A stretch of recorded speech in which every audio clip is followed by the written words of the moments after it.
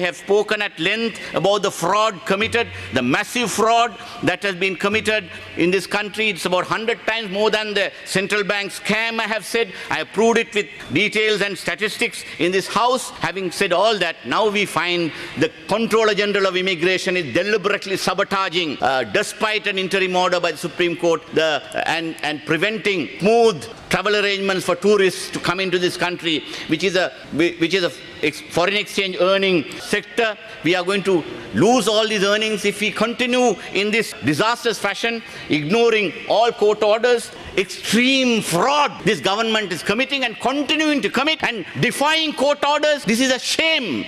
But now, what has happened today? Now, see the Daily Mirror's headlines today.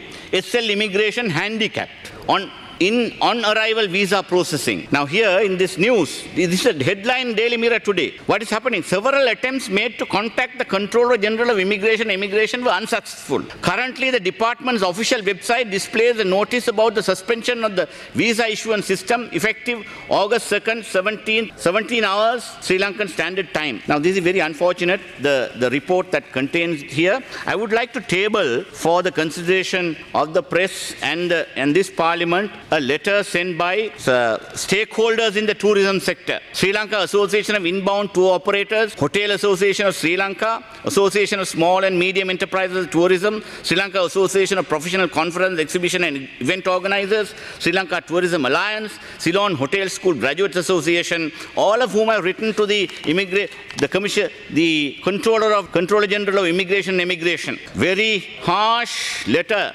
accusing him of sabotaging the arrival visas being handled in the airport, despite the way in which they, the Supreme Court has ordered him to immediately revert to the earlier system because there was fraud that was exposed in the applications we filed to the Supreme Court. Now, I would like to read here very specifically what, what this letter says. For the purpose of facilitating the immediate restoration of the status quo ante, you would have to facilitate the Mobitel ETA platform. It is common knowledge and accordingly we too are made to understand that Mobitel Limited stands ready and willing to immediately go live and to provide services as, an, as in the past through a very smooth transition. Nevertheless, we understand that the back-end software provider who provides the gateway informatics must await or is awaiting expeditious instructions from you in your capacity as the controller of immigration emigration in order to facilitate the connectivity and activation of the Mobitel platform.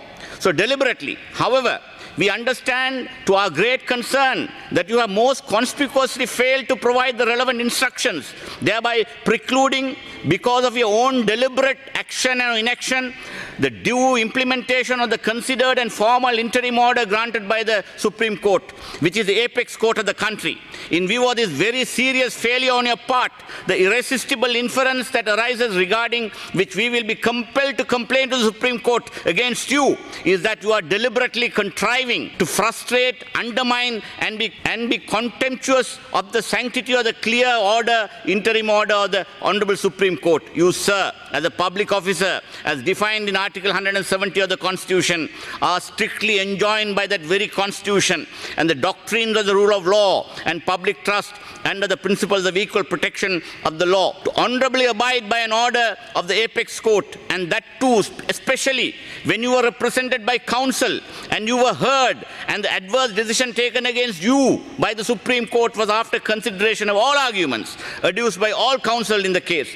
The tourism industry is receiving multiple complaints from foreign travelers and tour operators who prefer to receive efficient online visa authorization rather than receiving the visa upon arrival, which is the only option presently available in the country. The undue delay directly occasioned by you as well as certain other respondents is resulting in tourism bookings being directed to other destinations to the severe detriment of Sri Lanka and and the destruction of Sri Lanka's legitimate need to solicit as many tourists as possible and to augment its foreign reserves. What more, Mr. Deputy Speaker?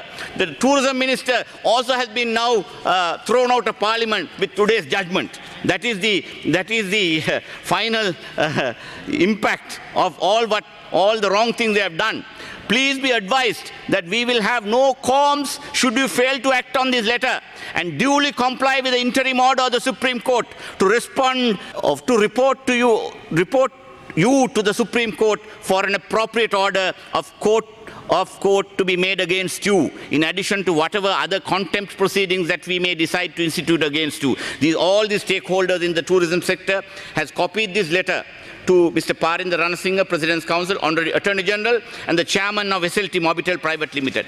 It's a simple thing to migrate to the earlier platform provided by SLT Mobitel. I have shown, I have spoken at length about the fraud committed, the massive fraud that has been committed in this country. It's about 100 times more than the central bank scam, I have said. I have proved it with details and statistics in this House.